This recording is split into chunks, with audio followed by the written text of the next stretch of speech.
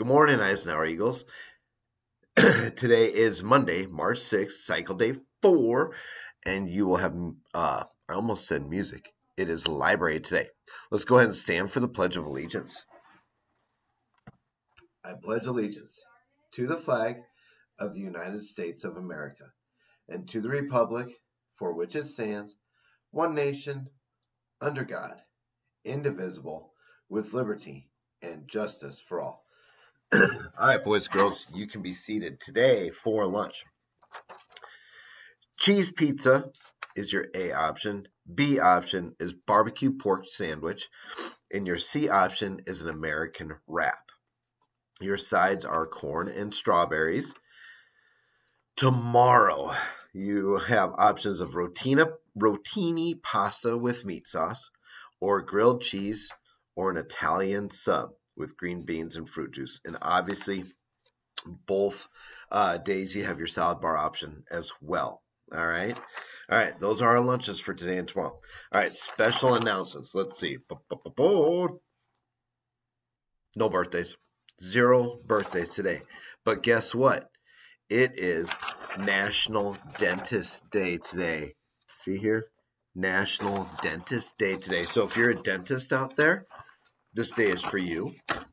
If you have a parent, I know one kid here whose parent is a dentist. This day is for them. So make sure that they know it's a special day for them. So it is National Dentist Day today. Woohoo! Okay. And you all were visited by Dr. Pratt earlier this year, uh, a couple weeks ago. And yeah, there you go. All right. So no birthdays, National Dentist Day today. Another special announcement this Friday, no school. It's the start of your spring break. So, Friday, Monday, Tuesday, and Wednesday, no school for your spring break. You will come back on Thursday of next week.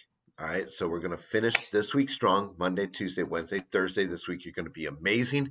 You're going to be awesome. You're going to have a great time with your teachers. and with your friends, and you're going to be great students and great citizens here at Eisenhower. Okay. All right, we are going to go over our playground expectations. Remember, if you want to soar like an eagle, spread kindness. All right, include everyone and take turns, and you use kind words. You want to obey safety rules, use the playground equipment properly, listen and follow teacher directions. You want to act responsibly, put all equipment back on the cart, and line up when the bell rings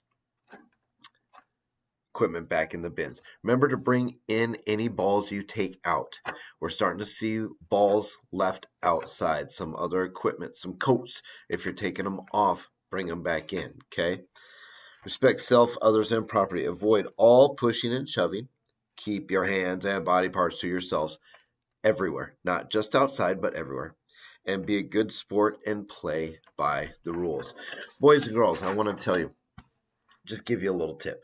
If you have to walk any laps for any reason, a good idea, a good best practice is if you have two laps, just walk those two laps, be done, and go play.